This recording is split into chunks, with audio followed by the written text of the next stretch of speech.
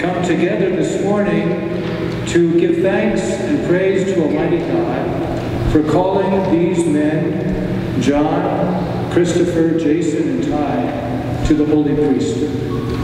I welcome you, my brothers, today with your families, your friends, and so many parishioners who are here today from this local church and who have been a part of your formation either formally or informally.